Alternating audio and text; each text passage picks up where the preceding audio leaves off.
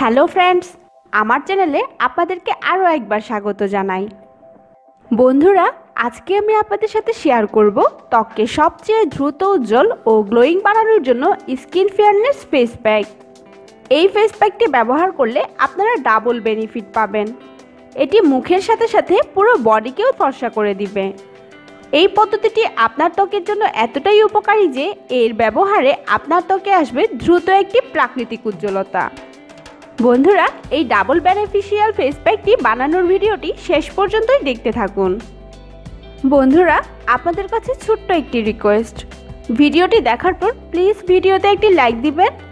আপনাদের একটি লাইক নতুন আরও ভিডিও তৈরি করতে আমাকে অনেক বেশি মোটিভেশন দিবে। এই ভিডিওটিকে আমি দুটি স্টেপে ভাগ করেছি। স্টেপ ওয়ান স্ক্রাবিং এর জন্য একটি বাটিতে এক চামচ চালের গুঁড়া ও দুই চামচ লেবুর রস নিয়ে এদেরকে মিশিয়ে নিন।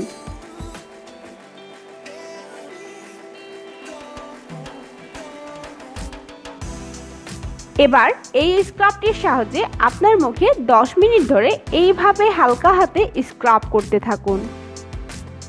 যদি আপনি আপনার পুরো শরীরকে ফর্সা করতে চান, তাহলে হাত, পা এবং শরীরের যে কোনো অংশে এটি ব্যবহার করতে পারেন। স্ক্রাবটি একবার ব্যবহার করার পর আপনারা দেখতে পাবেন আপনাদের ত্বক খুবই ব্রাইট আর গ্লোয়িং হয়ে উঠছে। দশ মিনিট স্ক্রাব করার পর পরিষ্কার জল দিয়ে ত্বককে ধুয়ে ফেলুন। Step two face pack face pack তৈরি করার জন্য একটি বাটিতে দুই চামচ চালের গুঁড়া। চালের মধ্যে ভরপুর মাত্রায় অ্যান্টিঅক্সিডেন্ট থাকে, যা আমাদের ত্বকের এইজিং প্রসেস স্লো করে দেয়। যার ফলে ত্বক থেকে প্রায় দশ বছর পর্যন্ত বয়সের ছাপ কমে গিয়ে ত্বক উজ্জ্বল টান টান মসৃণ হয়। আধা চামচ হলুদ গুঁড়া, হলুদের ন্যাচারাল লাইটেনিং প্রপার্টি ত্বকের স্বাভাবিক উজ্জ্বলতা ফিরিয়ে এনে দিনের পর দিন ত্বকের উজ্জ্বলতা ধরে রাখে। একটি ভিটামিন ই ও নরম পেস্ট তৈরি করার জন্য প্রয়োজন মতো কাঁচা তরল দুধ নিয়ে এদেরকে একসাথে মিশিয়ে নিন। এই প্যাকটি আমাদের ত্বককে ইউথফুল আর গ্লোয়িং বানাবে। পাশাপাশি এটি ত্বককে হেলদি করে ত্বকে অসাধারণ একটি ইয়াঙ্গার লুকিং নিয়ে আসবে। প্যাকটি তৈরি হলে এটিকে এইভাবে অ্যাপ্লাই করুন।